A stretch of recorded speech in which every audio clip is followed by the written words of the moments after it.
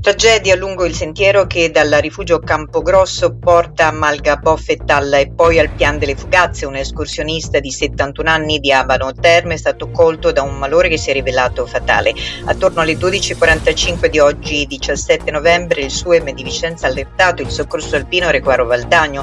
Subito il personale del rifugio è partito con un defibrillatore per dare supporto agli amici dell'uomo che gli stavano già praticando le manovre di rianimazione seguendo le indicazioni della centrale del 118. A loro, raggiunti dopo una ventina di minuti di camminata anche da una squadra di soccorritori, è subentrata l'equipe sanitaria dall'elicottero di Verona Emergenza che ha tentato il possibile fino alla constatazione del decesso. La salma è stata trasportata fuori dal bosco in un punto agevole per il recupero e affidata all'eliambulanza.